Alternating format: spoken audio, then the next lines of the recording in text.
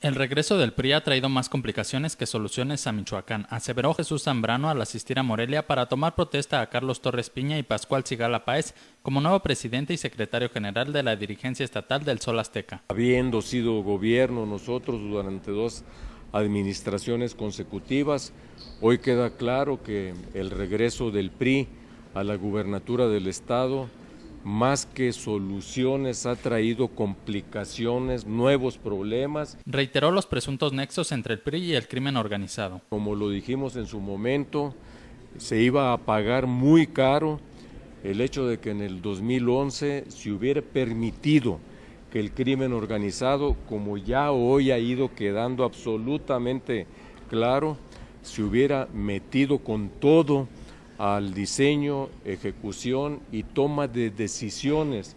Zambrano Grijalva señaló Vallejo Figueroa debería pedir una nueva licencia para separarse de su cargo. Responsable en los zapatos de don Fausto Vallejo sería que por lo menos pidiera una nueva licencia, ya está acostumbrado a pedirlas, pues ahora ante una nueva realidad tan delicada como esta. Afirmó que la situación en Michoacán sigue siendo delicada. Eh, lo que también nosotros vemos eh, desde el plano nacional, y es que la situación en Michoacán se mantiene en un rango de eh, delicado, por no decir más, de una enorme fragilidad del Estado de Derecho. En el tema de las autodefensas, comentó, se pudiera estar corrigiendo el riesgo de que algunos criminales estén cambiando de camiseta y confundir a la sociedad.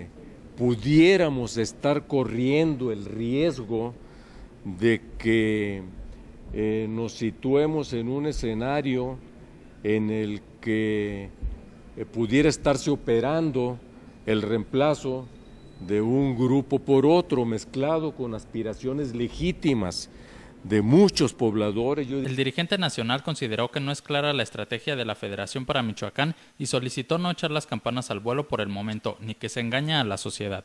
Con información de Felipe Bárcenas Informa, Cuasar TV.